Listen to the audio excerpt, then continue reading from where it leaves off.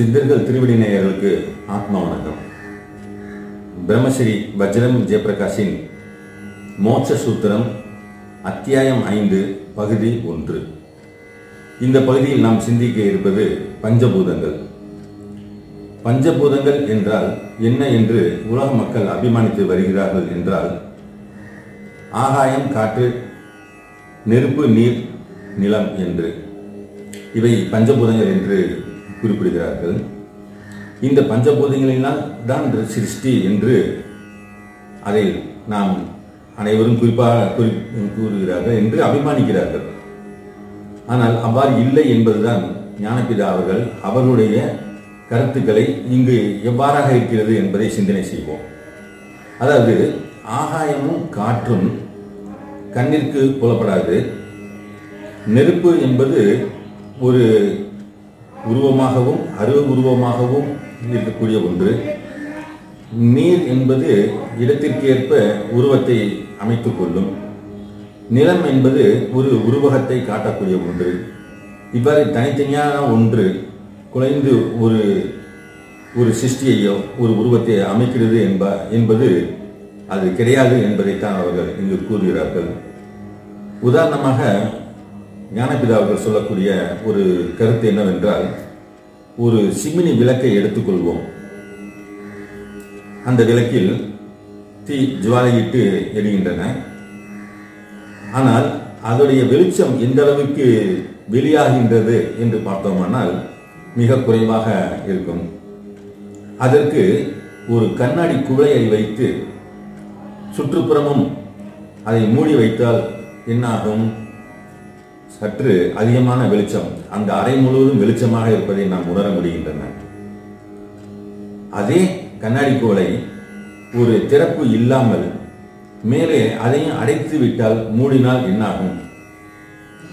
அப்போது அந்த விளக்கு அணைந்து விடுகின்றன. அப்பொழுது இந்த விளக்கு எரியும் போது அதனுடைய நிலை எவ்வாறாக இருந்தன? அந்த கண்ணாடி குழல் வைக்கும் போது அது எவ்வாறாக இருந்தன? அதை மூடிய உடனே எவ்வாறாக மாற்றமடைகின்றன என்பதை இங்கு நாம் பார்ப்போம். அதாவது அந்த விளக்கானது அக்னி ஒரு பிரகாசமாக இல்லை. அந்த அறை முழுவதும் அந்த வெளிச்சம் இல்லை என்பதுதான். அந்த கண்ணாடி குவளையை வைக்கும்போது அந்த விளக்கிற்கும் அந்த ஜோதிக்கும் அந்த கண்ணாடி குழாய்க்கும் இடையில் இருக்கக்கூடிய ஒரு ஆகாசம். ஆகாசம் என்பது பிரபஞ்சபுரம் பறந்து உள்ள ஒன்றுதான். இந்த கண்ணாடி குவளைக்கும் அந்த ஜோதிக்கும் இடையில் உள்ள அந்த ஆகாசத்தில் அந்த காற்று வந்து கதாகதம் செய்கின்றன வாயு அந்த உலாவுகின்றன. அந்த ஒன்றினால் தான் அந்த வெளிச்சம் அறை முழுவதும் நன்றாக வியாபித்தன அதே ஒரு அந்த கண்ணாடி குவளையை மூடும் போது என்ன ஆகின்றன காற்று அங்கு தடைபடுகின்றன. அது வியாபிக்க முடியவில்லை. அவ்வாறாக இருக்கும்போது அந்த விளக்கு அணைந்து விடுகின்றன. இவ்வாறு பார்க்கும்போது அந்த விளக்கு எரிந்ததற்கான காரணம் என்ன என்று பார்த்தால் இந்த காற்றினுடைய கதாகதம் அந்த வாயுடைய நடமாட்டம். அதுதான் அதற்கு காரணமாக இருந்தன. அது அதை முழுவதுமாக மூடிவிட்டால் அந்த காற்று அங்கு நடனம் செய்ய முடியாததால் அது அணைந்து விடுகின்றன. இதுதான் ஒரு மனிதன் என்கின்றார். அதாவது அந்த வாயுவானது நம் உள்ளே இருக்கக்கூடிய அக்னி நேத்திரத்தில்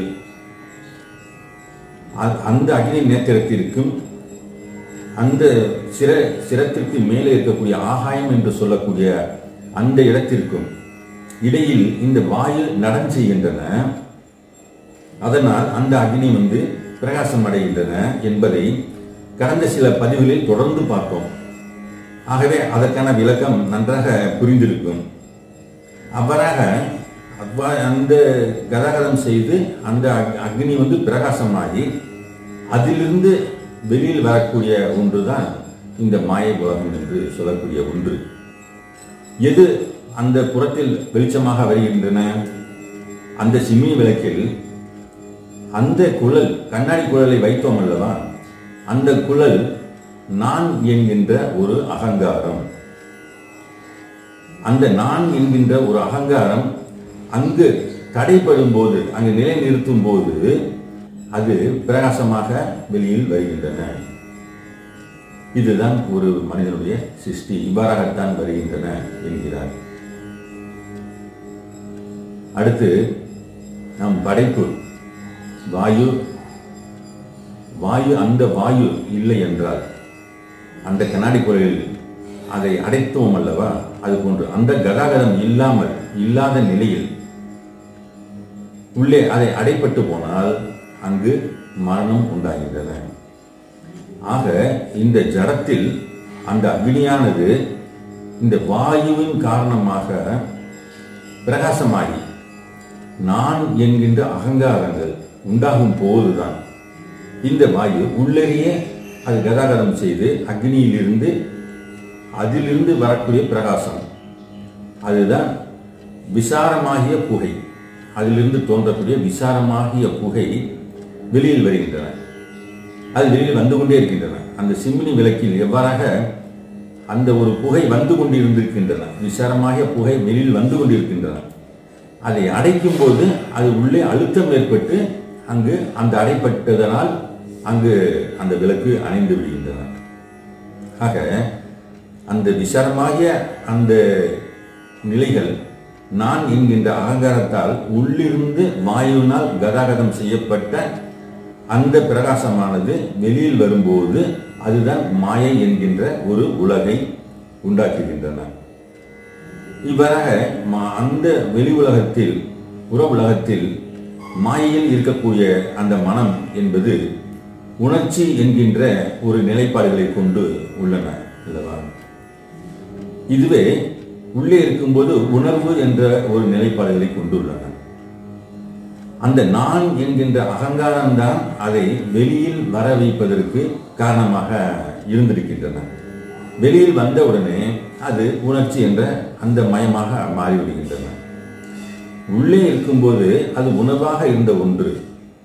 அது உள்ளேலேயே அந்த விசாரமாகிய புகையாக அதாவது உணர்ச்சிகளாக அடக்கி வைக்கப்பட்டிருந்தால் அடக்கி வைக்கப்பட்டால் விசாரமாகிய அந்த புகை என்று சொல்லக்கூடிய அந்த நிலைப்பாடுகள் வெளியில் வந்துதான் தீர வேண்டும். அது உணர்ச்சி என்ற நிலையில் புற உலகில் அது வியாபித்துத்தான் தீர வேண்டும். அந்த உணர்ச்சியானது அந்த விசாரமாகிய புகையானது உள்ளே அடக்கி வைக்கப்படும் போது அது மனிதனுக்கு பிணம் என்று ஒன்று ஆகின்றன. ஆக வாயுதான் அதற்கு அடிப்படை காரணம் என்பதை நாம் இங்கு தெளிவாக புரிந்து கொள்ள வேண்டும். வாயுதான் இப்பொழுது அந்த அபை பிரயாக்கை பாடின அந்த ஒரு குரலை பார்த்தால் பரமாய சக்தியும் பஞ்சமா பூதமும் தரம் மாறி தோன்றும் பிறப்பு. அதாவது பரமாய சக்தியும் பஞ்சமா பூதமும் தரம் மாறி தோன்றும் பிறப்பு. இது இதுவரை நாம் அதை பார்த்த ஒரு கோணங்கள். இதுவரை நாம் பார்த்த இந்த உலகத்தார் போன்று இருந்தன அல்லவா? இப்பொழுது அந்த குரலை கொஞ்சம் ஆழ்ந்து சிந்தித்து பார்த்தோமானால் நாம் சென்ற பதிவிலேயே பார்த்தோம். பூர்வ மையத்திலிருந்து சிற உச்சி வரை உண்டான ஒரு இடம்தான் ஆகாயம் என்று. அந்த புருவ மையம் என்பது ஒரு அக்னி நேத்திரம் என்று பார்த்தோம் அல்லவா? இதற்கு இடையில் தான் வாயு கதாகதம் செய்கிறது என்று பார்த்தோம் அல்லவா? இப்பொழுது நம்முள்ளே தான் அந்த பஞ்சபூதங்கள் இருக்கின்றன என்பதை ஞானபிதா அவர்கள் எவ்வாறாக விளக்குகிறார் என்றால் அந்த சிரத்தின் உச்சியில் இருக்கக்கூடியது ஆகாயம் அந்த ஆகாயத்துடன் அந்த பஞ்சமா பூ- பூதங்கள் ஐந்து பூதங்கள் பரமாய சக்தியும் பஞ்சமா பூதங்களும் தரம் மாறி தோன்றும் பிறப்பு. அப்பொழுது காற்று என்ற ஒன்றுதான் அனைத்திற்கும் ஜீவனாக இருக்கக்கூடிய ஒன்று. அது தரம் மாறி தோன்றும். அதாவது வெப்பமாகவும் தோன்றும் நீராகவும் தோன்றும் காற்ற நிலமாகவும் தோன்றும். அனைத்தும் எது என்று பார்த்தோமானால் அந்த வாயுதான் அதுதான் ஜீவன். அந்த ஜீவனே வாயுவாக இருந்து அந்த கதாகதம் செய்யும் போது அதிலிருந்து ஏற்படக்கூடிய வெப்பம் அந்த அதிலிருந்து சுக்கிலம் அந்த சுக்கிலம் வந்து இலகி நீர்த்தன்மை ஆகின்றன என்று பார்த்தோம் அல்லவா? அப்பொழுது அங்கு நீர் என்று உண்டாகின்றன. ஆக எதுவாக இருந்தாலும் அனைத்துக்கும் ஒரே ஒரு பொருள் காற்று தான் வாயுதான். வாயுதான் ஜீவன். ஒரு மனிதனை மூக்கையும் வாயவும் ஒரு சேர பிடித்து அமைத்துக் கொண்டால் என்னாகும்? அவன் மரணித்து விடுவான். இந்த பஞ்சபூதங்களினால் ஆனதுதான் இந்த உடல் என்று இருப்பதாக இருந்தால் காற்றை ஒன்றுதானே அந்த ஒன்றை மட்டும்தானே இவர்கள் அடைப்பு செய்தார்கள்? ஆனால் மற்ற பூதங்கள் அனைத்தும் சேர்ந்து தானே அங்கு அவன் இந்த சிருஷ்டியை உண்டாக்கின இப்பொழுது காற்று மட்டும்தானே இல்லை. ஏன் உடனே மரணம் ஏற்பட வேண்டும்? மரணம் இல்லாமலே இருந்து விடலாமே. அவ்வாறாக பார்க்கும்போது இந்த காற்று இல்லாத மற்ற நான்கு பூதங்கள் இருக்கிறது என்பதை தெரிந்து கொண்டோம் அல்லவா? அங்கு அதன் மூலமாக தனக்கு தேவையான வாயுவை சுவாசித்துக் கொள்ள வேண்டியதுதானே என்பதை நாம் இங்கு சிந்தித்து பார்க்க வேண்டும். அவ்வாறாக பார்க்கும்போது அதற்கு வாய்ப்பு இல்லை என்பதுதான் அதற்காகத்தான் ஞானபிதா அவர்கள் பஞ்சபூதங்களெல்லாம் இப்ப சிருஷ்டி கிடையாது என்பதை இங்கு தெளிவாக அவர் குறிப்பிடுகிறார். அதுவாக பார்க்கும்போது வாயுதான் அனைத்திற்கும் காரணமாக இருக்கின்றன. அந்த வாயுதான் இப்ப அந்த வாயு இல்லாத நிலையில் பிணம் என்று பார்த்தோம் அல்லவா? மற்ற பூதங்களும் இருந்து கொண்டுதான் இருக்கின்றன. நாம் பிணமாவதற்கு ஏன் காரணம்? ஆக வேண்டிய அவசியமே இல்லையே. இன்னும் மேலும் தொடர்ந்து நேரில் இது போன்ற இன்னும் சில கருத்துக்களை தொடர்ந்து அடுத்த பதிவு சந்திப்போம். நன்றி வாழ்வருடன் வாழ்வருடன் வாழ்வருடன் இந்த பதிவு உங்களுக்கு பிடிச்சிருந்ததுன்னா லைக் பண்ணி ஷேர் பண்ணுங்க. மறக்காம சப்ஸ்கிரைப் பண்ணிடுங்க. மீண்டும் உங்களை சந்திக்கும் வரை அன்புடன் குன்னு வணக்கம்.